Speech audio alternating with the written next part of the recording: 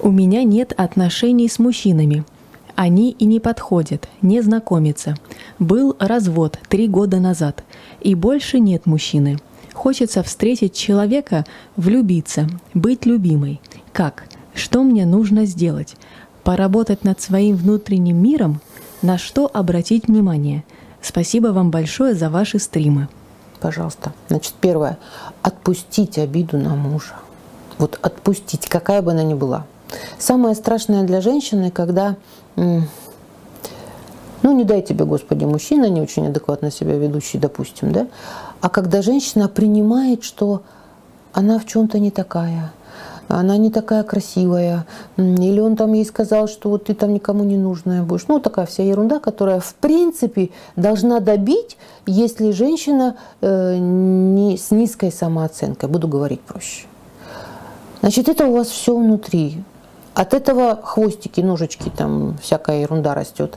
Вы их боитесь, вам все время кажется, что они похожи на предыдущие ваши отношения, э, что у вас получится все то же самое, и что лучше не надо, а может быть надо. И самое главное, вы не сделали работу над ошибками и для себя не приняли, а какой же нужен-то?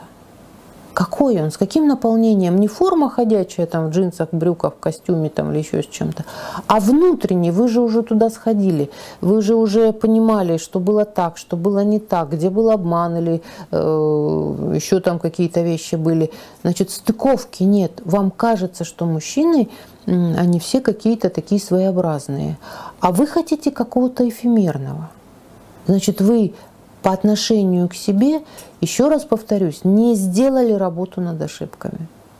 И вы не подпустите, потому что это вот там внутри сидит, и вы каждый раз э, ну, как и любая другая женщина, которая переживает непростые моменты в своей жизни, она почему-то думает и страхуется так Бога, что ну это все, это в последний раз, это нет, это такое же, это то. И начинает это еще аккумулировать в разговоре эмоционально с какими-то своими там приятельницами, подружками. Нет, это не рабочий вариант. Или вы изнутри все вытаскиваете и понимаете причинно-следственные связи – и понимаете, что очень часто бывает, каждый из нас совершает поступки, которые бывают э, на всю жизнь остаются знаете, таким неизгладимым следом, и исправить их практически нельзя. Даже если э, какая-то коммуникация может пойти, это никогда не будет гарантировать, что те предыдущие отношения или те какие-то там э, взаимодействия будут такими же, как до этого поступка. Нет. Почему говорится, что весь мир меняется? И мы должны в унисон с этим миром меняться вместе, понимая, что условия среды, в которой мы с вами находимся, они изменчивы. Сейчас лето, потом начнется осень. У нас все равно это будет меняться. У нас какие-то начнутся определенные изменения то ли на работе, то ли в тех городах, где вы, где вы живете. И если мы от этого закрываемся и не понимаем, что происходит, это называются блоки. Если вы закрываетесь и боитесь повтора, значит, вы или обретете этот повтор, или навсегда никогда не позволите себе никуда больше, чтобы к вам кто-то подошел. Присутствие страха и обиды, и та как-то непрожитая боль, непонимание того-то. Почему любой, любой разбор полетов – это всегда непросто? Почему на сегодняшний момент из моей практики люди э, угасают, умирают, ходят трупиками, мертвецами, как мертвяки, как в Стругацких написано, да? У них нет сил, у них нет энергии, и самое главное, нет внутреннего желания, страдальцы так называемые, нет внутреннего желания хоть чтобы, хотя бы что-то в жизни изменить. Это, ну, как сложно?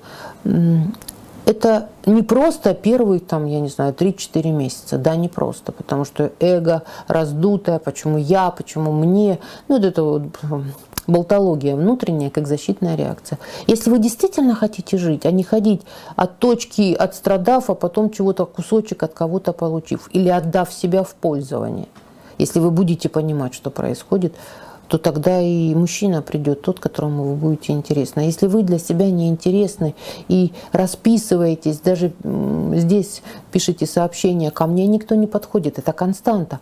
Я разошлась, там то, все, во, вот, вот все на голову одеваете на голову одеваете.